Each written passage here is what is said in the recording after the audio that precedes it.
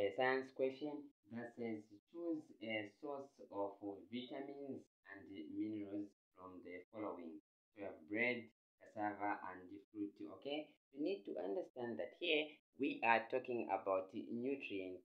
Nutrients, these are chemical substances which are required by the body for energy and protection. Okay, now they're saying choose a source.